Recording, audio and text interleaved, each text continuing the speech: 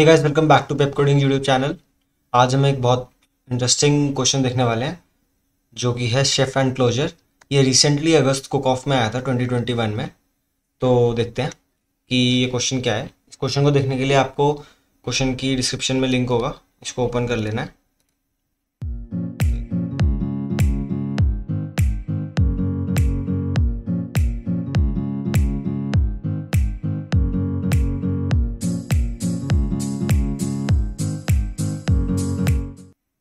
तो ये क्वेश्चन पढ़ते हैं। देखो क्वेश्चन क्या कह रहा है? You are given an array A with N integers you have to tell you have to tell chef whether this array is close under multiplication ठीक है? अब आपको एक एरे दे रखा है और आपको इतना ही बताना है कि वो क्लोज अंडर मल्टीप्लीकेशन है या नहीं है। ठीक है? तो देखो we say that an array is close under multiplication if for all sequences S one S one जितने भी सीक्वेंस है एरे में मतलब कोई भी, कोई सारे एलिमेंट्स उठा लो, किसी भी एलिमेंट को छोड़ दो, किसी भी एलिमेंट को पिक कर लो, कोई भी रैंडम एलिमेंट्स उठा लो एरे में से एंड अगर उसमें आपने for all sequences S one S two S two उठाया, और आपने अगर उस सीक्वेंस का प्रोडक्ट उस एरे में है तो वो क्लोज अंडर मल्टीप्लीकेशन है, ठीक है? जैसे एग्ज़ाम्पल देखते हैं एग्ज़ाम्पल सीधा बोर्ड पे ही देखते हैं। देखो देखो। अब मैं आपको एरे दूँ वन वन थ्री तो ये क्लोज अंडर मल्टीप्लीकेशन है। इसका कोई भी सीक्वेंस उठा लो, जो प्रोडक्ट आएगा उस सीक्वेंस का, उस, वो इस एरे में ऑलरेडी प्रेजेंट होगा, ठीक है? जैसे देखो वन इंटू वन प्रेजेंट है वन प्रेजेंट है है ना? वन इंटू थ्री क्या होता है? थ्री प्रेजेंट है थ्री प्रेजेंट है। One into one into three क्या होता है? थ्री तो थ्री भी प्रेजेंट है, ठीक है? तो ये क्या हुआ? ये एरे है क्लोज अंडर मल्टीप्लीकेशन ठीक है? ऐसे ही मैं एक और एरे का एग्ज़ाम्पल लूँ तो ये देखो, ये एक एरे है जो कि है close under multiplication negative elements भी हो सकते हैं एरे में, ठीक है? तो देखो वन इंटू माइनस वन क्या होता है? माइनस वन प्रेजेंट है एलिमेंट एरे के अंदर। Minus one into minus one कितना होता है? वन वो भी प्रेजेंट है एरे के अंदर, है ना? One into minus one into minus one कितना होता है? वन होता है। तो ये भी प्रेजेंट है एलिमेंट एरे के अंदर, ठीक है? तो ये एलिमेंट भी प्रेजेंट है तो इसका मतलब this array is close under multiplication कोई भी सीक्वेंस उठाओ एरे के अंदर सीक्वेंस पता है क्या? सब सीक्वेंस कोई भी सब सीक्वेंस उठा लो, उसको प्रोडक्ट कर दो, और अगर वो प्रोडक्ट एरे में प्रेजेंट है तो हम बोलेंगे कि वो एरे क्लोज अंडर मल्टीप्लीकेशन है। तो हमें बस इनपुट आउटपुट फॉर्मेट देख लेते हैं। देखो, आपको टेस्ट केसेस मिलेंगे। हर टेस्ट केस में आपको एक एन मिलेगा एंड एन इंटीजर्स मिलेंगे जो एरे को रिप्रेजेंट करेंगे। और आपको बताना है कि वन इफ़ वो प्रेजेंट है ज़ीरो इफ़ वो प्रेजेंट अगर अगर वो क्लोज अंडर मल्टीप्लीकेशन नहीं है, ठीक है? तो ये क्वेश्चन साउंड बहुत मुश्किल कर रहा है, पर एक्चुअली में है बहुत ही मतलब आपको एक लॉजिक दिखना चाहिए। वो लॉजिक दिख गया तो ये क्वेश्चन चुटकियों में सॉल्व है? बेसिकली मैथ का क्वेश्चन है। एंड मैथ के क्वेश्चन में क्या होता है? कोड ज़्यादा लंबा नहीं होता। बस आपको लॉजिक सोचना होता है। कोड तो ओनली फाइव सिक्स लाइन्स का ही होता है, ठीक है? तो आप वीडियो को पॉज करके लॉजिक सोचो, ठीक है? अगर आप सोचोगे तो मैं गारंटी करता हूँ कि ये हो जाना चाहिए क्वेश्चन सॉल्व ठीक है? पर अगर नहीं होता फिर भी तो वीडियो प्ले करना और अब मैं सॉल्यूशन इसका बताता हूँ कि इसको कैसे सॉल्व करना है, ठीक है? देखो हम बोल रहे हैं array is close under multiplication ठीक है? अगर मैं कोई एरे दे दूँ two three two comma three तो इसको क्लोज अंडर मल्टीप्लीकेशन बनाने के लिए क्या करा जाएगा? ठीक है? इस वे में सोचते हैं कि इसको अगर मैं क्लोज मल्टीप्लीकेशन बनाने के लिए कोशिश करूँ तो क्या किया जाए? देखो टू थ्री है तो टू इंटू थ्री एरे में प्रेजेंट होना चाहिए सिक्स आया। इसका मतलब टू इंटू सिक्स और थ्री इंटू सिक्स भी एरे में प्रेजेंट होना चाहिए। तो टू इंटू सिक्स क्या है? ट्वेल्व ट्वेल्व भी प्रेजेंट होना चाहिए थ्री इंटू सिक्स क्या है? Three into six eighteen eighteen भी प्रेजेंट होना चाहिए। Two into three into six भी प्रेजेंट होना चाहिए, है ना? क्योंकि एज अ होल भी तो एक सीक्वेंस है ना? तो ये क्या हो गया? Six into six thirty six thirty six भी प्रेजेंट होना चाहिए। वैसे ही अब इन तीनों एलिमेंट्स को भी क्लोज अंडर मल्टीप्लीकेशन बनाओ। टू इंटू ट्वेल्व भी प्रेजेंट होना चाहिए तो मतलब ट्वेंटी फोर भी प्रेजेंट होना चाहिए। थ्री इंटू ट्वेल्व भी प्रेजेंट होना चाहिए, ये भी प्रेजेंट होना चाहिए, ये भी प्रेजेंट होना चाहिए। हम देख रहे हैं कि ये एरे कभी क्लोज अंडर मल्टीप्लीकेशन बन ही नहीं पाएगा।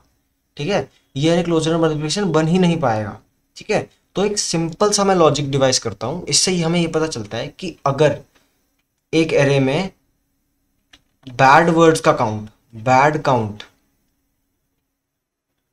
greater than greater than equal to two है तो वो एरे कभी भी क्लोज इंटर मल्टीप्लिकेशन नहीं बन जाएगा, ये एक इनफाइनाइट सीक्वेंस बन जाएगा। और ऐसे आप जितने मर्ज़ी ऐड करते रहो, आगे से आगे से आगे से, आगे नंबर के सीक्वेंस आप मल्टीप्लिकेशन करने ही पड़ेंगे ताकि उनके प्रोडक्ट को आप ऐड कर पाओ एरे में, उसको क्लोज इंटर मल्टीप्लिकेशन ना हो। तो बेसिकली आप कभी बना ही नहीं पाओगे क्लोज इंटर मल्टीप्लिकेशन ठीक है, इस एरे को। जितनी आप बनाने की कोशिश करोगे, उतनी बात बिगड़ती जाएगी, ठीक है।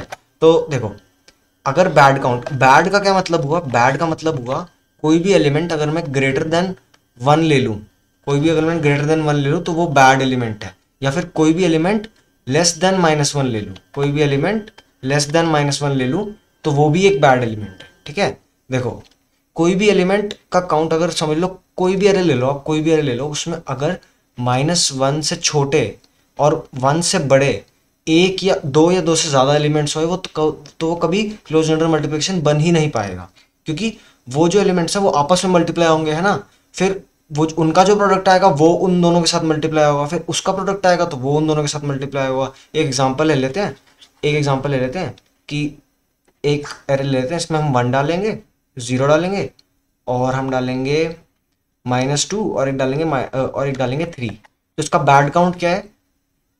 ये एक बैड एलिमेंट है, और ये भी एक बैड एलिमेंट है, ठीक है? तो बैड काउंट क्या हो गया? टू हो गया इसका बैड काउंट तो ये है greater than equal to two है, ठीक है? तो देखते हैं क्या इस एरे को हम क्लोज अंडर मल्टीप्लीकेशन बना पाएँगे? देखते हैं ज़रा। देखो, मैंने क्या करा? माइनस टू इंटू वन होना चाहिए। माइनस टू प्रेजेंट है है ना? माइनस टू इंटू ज़ीरो होना चाहिए। ज़ीरो प्रेजेंट है, ठीक है? वैसे ही थ्री इंटू वन होना चाहिए थ्री प्रेजेंट है। थ्री थ्री इंटू वन होना चाहिए थ्री प्रेजेंट है। और थ्री इंटू ज़ीरो होना चाहिए ज़ीरो प्रेजेंट है, ठीक है? माइनस टू इंटू थ्री नहीं है इस में।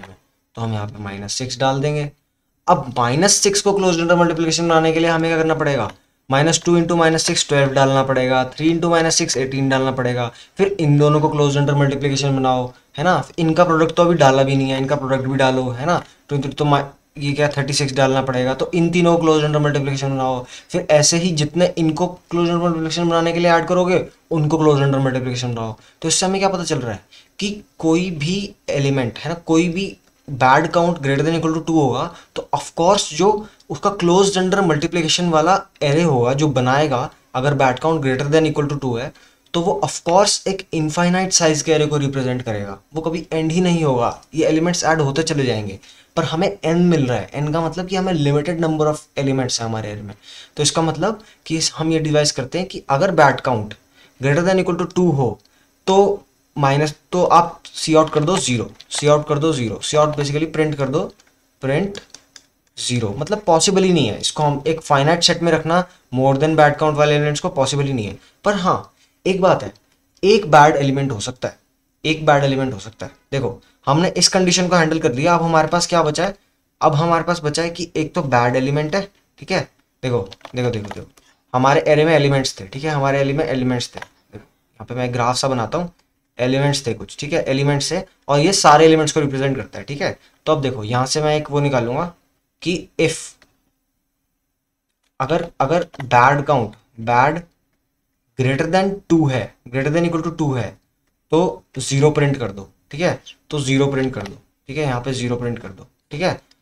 और अगर bad greater than equal to two नहीं है तो हम इस केस में आते हैं कि भाई bad less than equal to one ठीक है? तो इस केस में आते हैं। इस केस में क्या हो सकता है? दो चीज़ें हो सकती हैं। कि देखो, एक और बात है, एक और ऑब्जर्वेशन है। कि अगर माइनस वन के साथ कोई भी एक बैड एलिमेंट आ जाए ना, अगर एरे में माइनस वन भी और बैड एलिमेंट भी है तो भी वो कभी नहीं बना पाएँगे एक दूसरे के साथ कोई भी गुड क्योंकि देखते हैं, अगर मैं इसमें माइनस वन टू ये एक एरे लूँ तो आपको माइनस टू ऐड करना पड़ेगा। माइनस टू को ऐड कर लोगे तो आपको two into minus two four add करना पड़ेगा माइनस फोर ऐड करना पड़ेगा।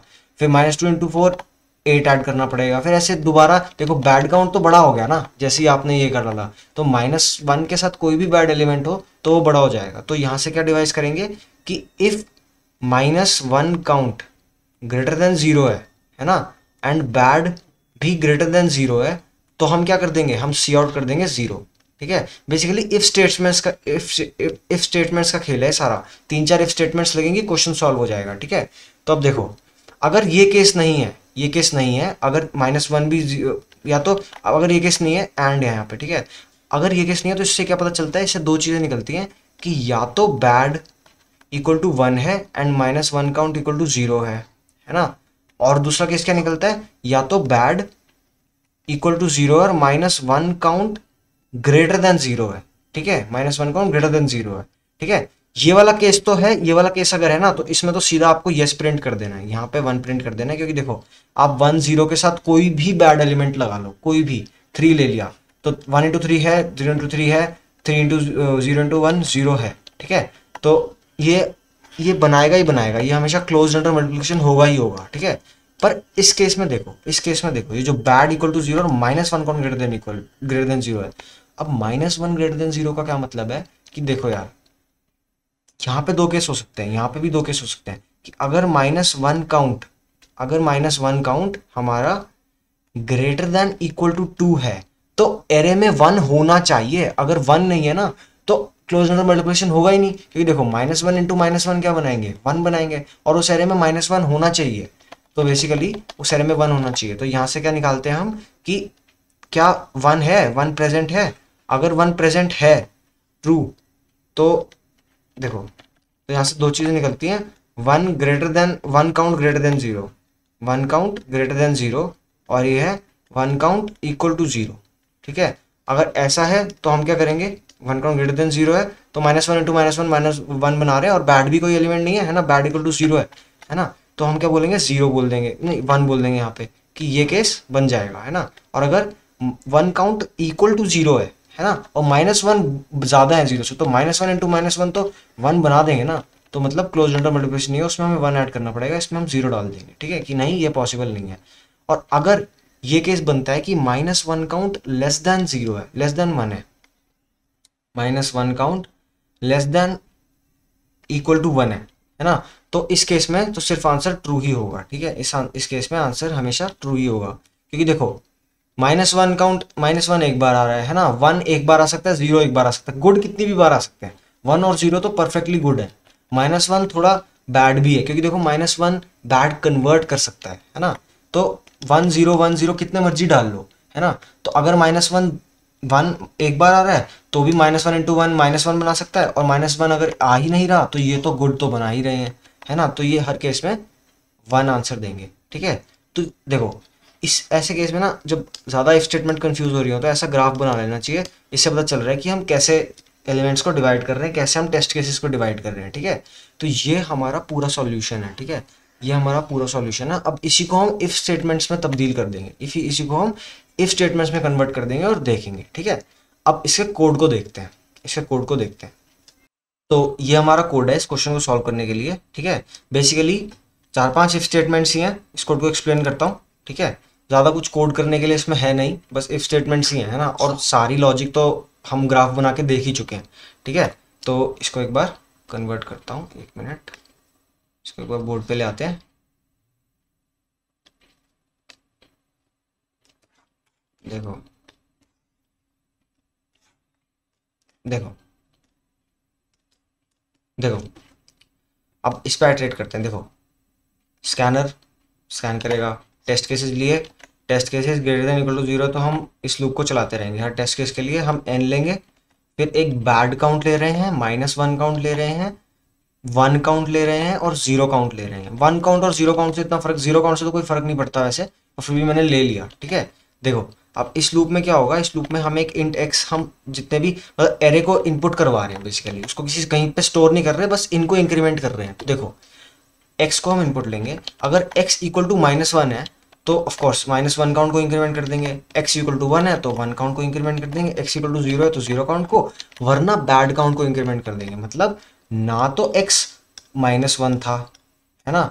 ना तो एक्स वन था, ना तो एक्स ज़ीरो था। तो मतलब लेस देन माइनस वन था लेस देन माइनस वन था कॉमा ज़ीरो कॉमा वन और ग्रेटर देन और ग्रेटर देन जो हमारा नंबर है, वो या तो ग्रेटर देन वन था, ठीक है? जो भी हमारा एक्स आया, वो एक्स इस रेंज में कहीं पे लाई करता है। है ना?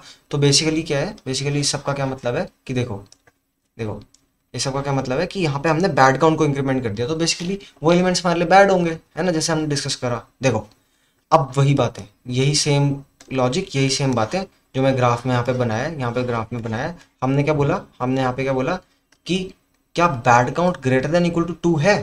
ठीक है? इसको एक बार मैं ग्राफ के साथ ही लेके चलता हूँ और वहीं पे ही समझाता हूँ। ग्राफ के साथ ही लेके समझाता हूँ। देखो एक मिनट, इसको थोड़ा ग्राफ को थोड़ा छोटा कर लेते हैं, जो हमने ऐसे ही ग्राफ बनाया अपना, ये। इसमें सेलेक्ट इसको थोड़ा छोटा कर लेंगे। मिनट। एक मिनट।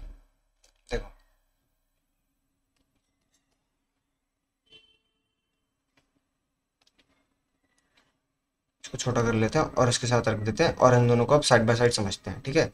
देखो, इससे कोई मतलब नहीं है, हमें ये क्या लिखा हुआ है? हमें बस ग्राफ को देखना है, ठीक है? देखो, अब देखो। ओके, देखते हैं। अगर bad count greater than two है, ठीक है? अगर bad count greater than two है तो सीधा ज़ीरो प्रिंट कर दो, ठीक है?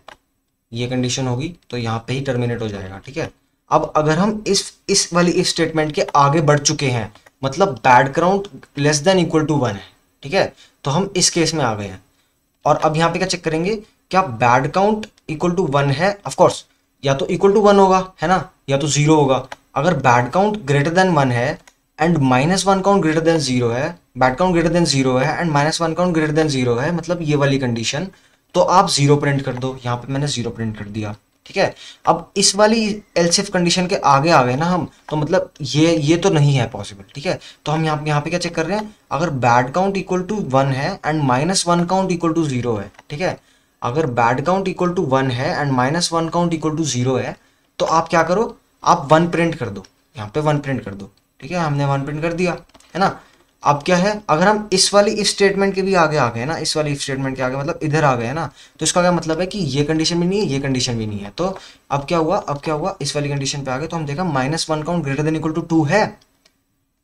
माइनस देखो minus one count greater than zero है तो minus one count greater than equal to two है। तो देखो, हम इस कंडीशन में आ गए। अब इस कंडीशन में हमारे पास दो रास्ते हैं, या तो इधर जाएँगे या तो इधर जाएँगे। अब इनको चेक करते हैं, क्या minus one count greater than equal to two है? हाँ है। और उसके साथ ही क्या one count greater than zero है? वन होना चाहिए। अगर है तो वन प्रिंट कर दो, ठीक है? और अगर minus one count greater than equal to two है and one count equal to zero है मतलब इधर आ गए तो मतलब ज़ीरो प्रिंट कर दो। यहाँ पे ज़ीरो प्रिंट करवा दिया। एल्स मतलब ये था ही नहीं ऐसा कुछ तो हम इधर आ जाएँगे, और इधर जाके तो वन प्रिंट हो ही रहा है हर जगह पे, ठीक है? तो ये हमारा काफ़ी कॉम्प्लिकेटेड इफ़ एल स्टेटमेंट्स थी। इनको ग्राफ बना के काफ़ी क्लियर हो गया, है ना? ग्राफ बना के काफ़ी क्लैरिटी मिल गई कि किस स्टेप के बाद हम क्या कर रहे हैं, ठीक है? तो बेसिकली ये हमारा इसका कोड था सारा, ठीक है? ये था कि इसको कैसे सॉल्व कर रहे हैं। और उम्मीद करता हूँ आपको समझ आया होगा। समझ आया होगा तो वीडियो को लाइक करो। And till the next video drops keep watching Pepcoding